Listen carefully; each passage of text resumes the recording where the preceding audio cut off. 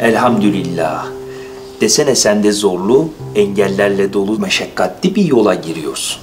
Bu yola girmeme siz vesile oldunuz hocam. Öyle mi? Daha önce tanışmış mıydık? Hayır, ilk defa görüşüyoruz. Lisede öğrenciyken gazetede sizinle ilgili bir haber okumuştum. 61 senesiydi. Eskişehir Demiryolları Atölyesi'nde yerli otomobili imal etmek için kolları sıvamıştınız. Ve başardınız.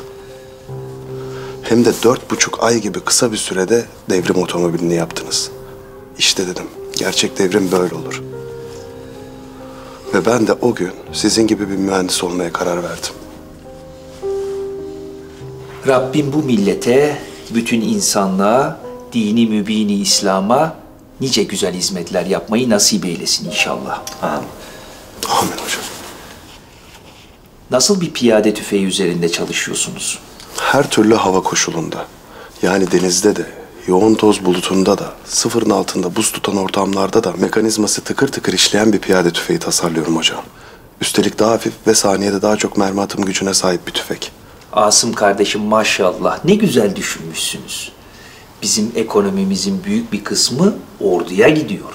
Silah alımına gidiyor. Kendi silahımızı üretirsek hem ordumuz hem de ekonomimiz güçlenir. Ve en önemlisi de bu aziz milletin kendisinin de en güzel şekilde sinayi üretim yapabileceğine dair inancı artar. Hocam, Asım hem zeki hem de gayretli bir arkadaşımızdır.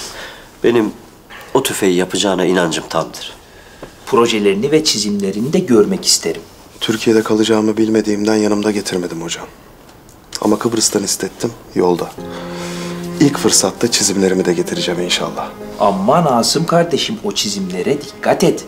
Onlara gözün gibi bak. Böyle işlerde dış güçler ve onların maşaları olan içerideki hainler de tetikte olurlar.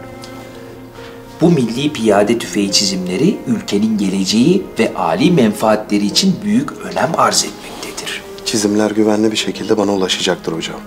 Onlara gözüm gibi bakacağımdan emin olabilirsiniz. Rabbim hayra motor, şerre fren olan Milli Talebe Birliğimizin de tez zamanda açılmasını nasip eder inşallah. İnşallah hocam.